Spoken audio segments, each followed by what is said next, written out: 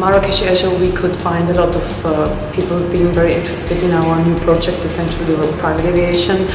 So also in the uh, CEPA Expo, which will be our newest product, many many um, MROs, uh, even on, of, coming from the African market, are very interested uh, joining our big exhibition, which will take place in 2011. Uh, we had a lot of interesting talks, and we could see that we are on the right way with our project because it's uh, very interesting and uh, I would say for the future very promising.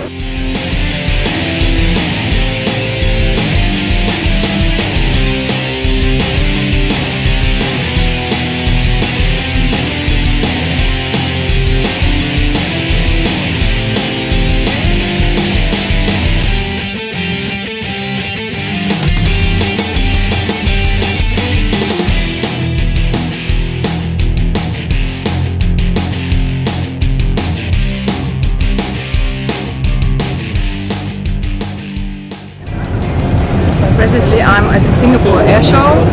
This year to report is that it's very interesting. It's uh, the venue just enlarged very much in the last four years. I was positively surprised. It's very professionally done. Especially for us, it's very interesting to see after Marrakech now Singapore, uh, as uh, we plan to have a big venue in Central Europe. It is very important to see how our kind of competitors are doing.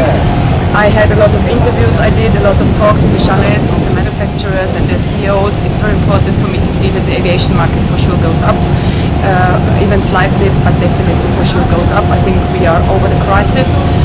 Um, and especially concerning our product, CEPA, uh, Central Europe Private Aviation, it's also important to see that even people in this region are very interested to join and uh, to help to support this bridge between East and West.